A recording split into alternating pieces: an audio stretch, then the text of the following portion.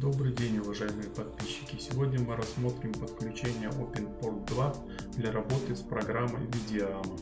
Открываем мой компьютер, удостоверяемся, что у нас Windows 10 не ниже версии Pro. Открываем нашу папку для установки и запускаем установку драйверов OpenPort 2. У кого уже установлены драйвера OpenPort 2, их устанавливать соответственно не нужно.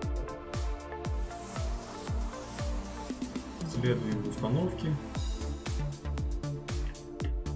Распаковываем файл.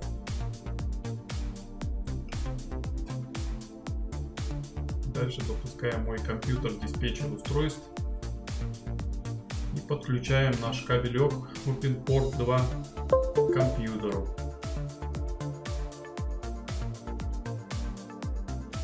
Он у нас определился как неизвестное устройство COM10 нам нужно обновить для него драйвер. Находим папку OpenECU.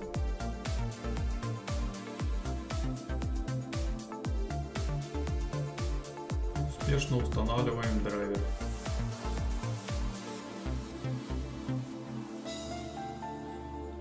Дальше приступаем к установке непосредственно самой программы Videama. Запускаем ее от имени администратора Выбираем, соответственно, английский язык.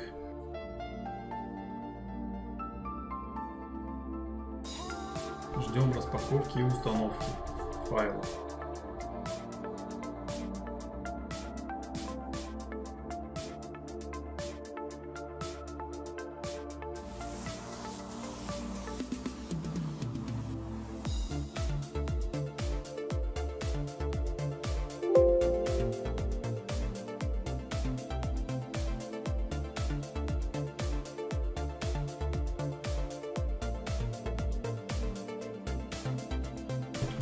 Установилась программа Видиама.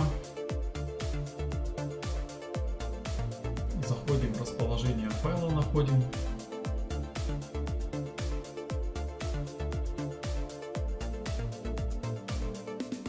Дальше открываем нашу папку с лекарством, копируем оттуда файлы и заменяем их в этой папке.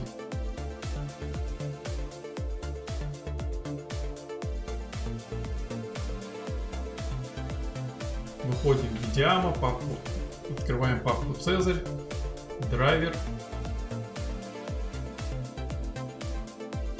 Из нашей папки копируем файл slave ini и также заменяем его. Это дает нам возможность сделать настройки по подключению OpenPort 2.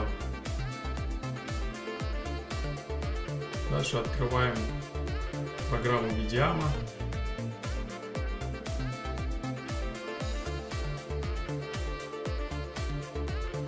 вкладку Update.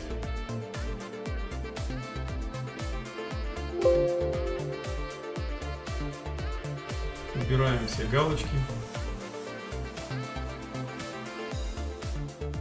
Ставим галочки PUBG Pin Mapping. Нажимаем вкладку Update. Дальше происходит перезагрузка. И вуаля, мы видим свой OpenPort подключены к программе Видиама. Полностью настроенный. Дальше запускаем сервер и прописываем туда нашу CBF папку. CBF папка тоже будет находиться в папке, которую мы положим ниже под видео для скачивания. Папку CBF лучше переименовать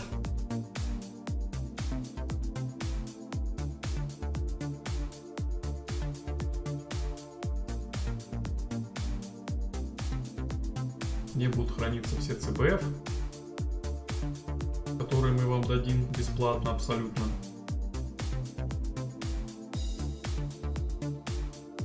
Дальше запускаем Видиама и проверяем, что программа видит наши CBF файлы.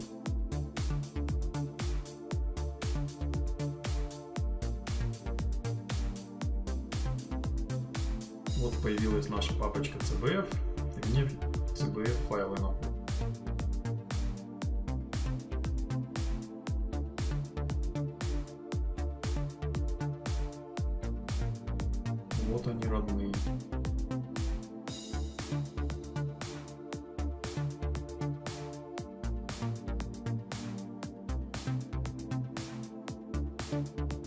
Для более удобного расположения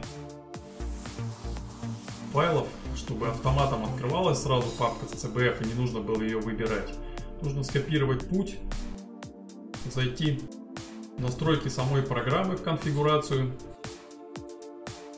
нажать настройки, выбрать папку Цезарь и этот путь прописать сюда.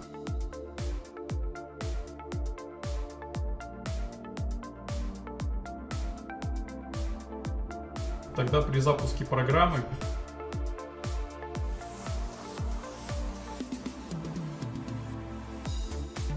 при открытии блоков вы нажимаете просто галочку ставите CBF и у вас они автоматически открываются, не нужно никуда лазить, что-то искать.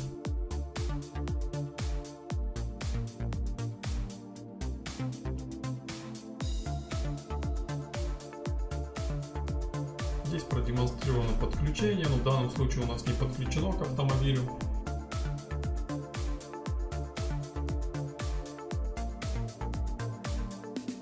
Поэтому показывает ошибку.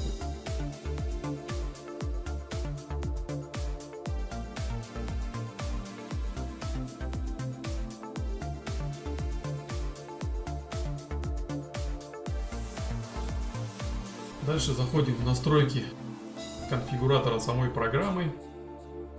И нужно заменить значение decimal на hexadecimal, чтобы у вас правильно отображалась строка для кодирования для hex редактора в 16-ричной системе. На этом настройки закончены видеамы. Можно запускать и пользоваться программой. Спасибо всем за внимание. Подписывайтесь на канал, ставьте лайки.